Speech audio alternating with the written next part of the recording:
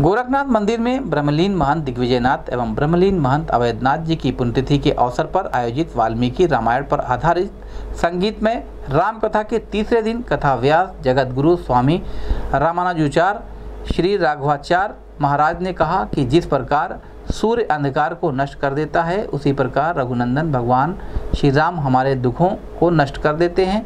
रामायण कथा भगवान के गुणों से को प्रकाशित करती है। भूमंडल पर भगवान प्रकट होते हैं, तब उनकी कथा होती है। पृथ्वी पर जब धर्म की हानि होने लगती है, तब दुष्टों के संहार के लिए भगवान को बैकुंठ से उतरकर यहाँ आना पड़ता है। भगवान जो रावण कुंभकर्ण शिशुपाल, कंस जैसे असुरों को अपने संकल्प मात्र से उत्पन्न कर सकते हैं। वह उन असुरों को अपने संकल्प मात्र से समाप्ति कर सकते हैं।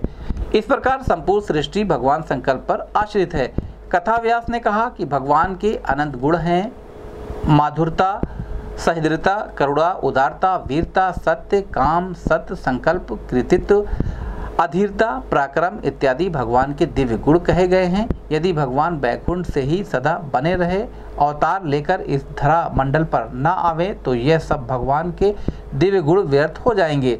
भगवान अपने गुणों को सार्थक करने के लिए अवतार लेते हैं। भगवान के जन्मोत्सव के समय स्वर्ग लोक से न जाने कितने देवगढ़ अयोध्या में भगवान के दिव्य स्वरूप का दर्शन करने के लिए आए, लेकिन दर्शन का लाभ उनको नहीं मिला। इसलिए उस पवित्र धाम अयोध्या नगरी के प्रजाजनों द्वारा उठाई गई संपत्ति को ही स्मृति के रूप में देवताओं को ले जाना पड़ा। कथाव्यास ने कहा कि रावण का मतलब रुदन है, अर्थात जो रोवे और रुलावे, वही रावण है। और राम कथा का अर्थ प्रसन्नता है, जो स्वयं प्रसन्न रहें और दूसरों को भी प्रसन्न करें। कथाव्यास ने कहा कि भगवान श्री राम के राज में कृषि कार्य भी बिना मुहूर्त के नहीं होते थे। कथाव्यास ने कहा कि उस समय घरों में माताएँ यज्ञ किया करती थी, क्योंकि यज्ञ से ही संतुष्टि की उत्पत्ति हुई है। कथा के बीच में कथाव्यास द्वारा अनेक भजन गाए गए, जिस पर भक्तगण झूमते रहे। संपूर्ण कथा श्री गोरखनाथ मंदिर के फेसबुक पेज एवं यूट्यूब चैनल व गोरखपुर न्यूज़ चैनल के माध्यम से सजीव प्रसारण किया गया। कथा का समापन, आरती एवं प्रसाद वितरण के साथ हुआ।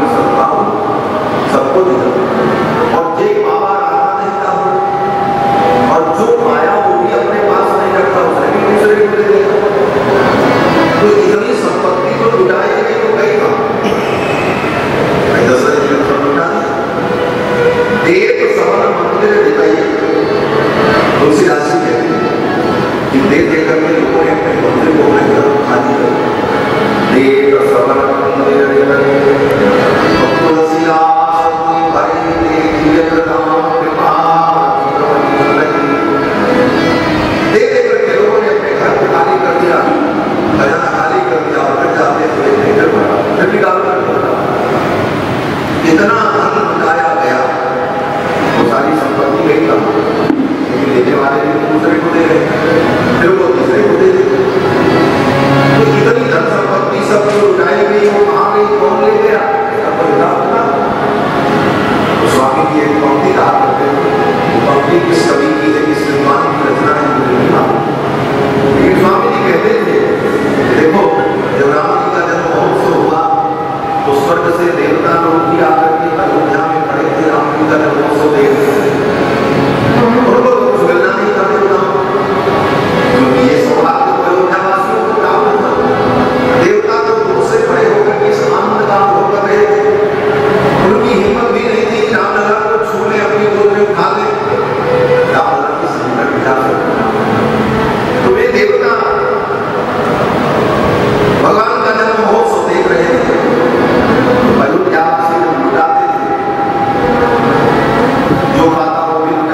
देख लेता दे देता मैं देगा देवता लोग हमको कुछ नहीं मिला यही लेकर काम किया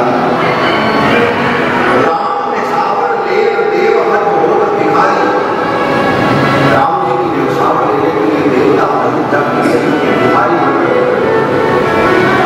जब कोई राम जी की मिल जाए तो इसी को पाकर के धन्य हो जाऊँ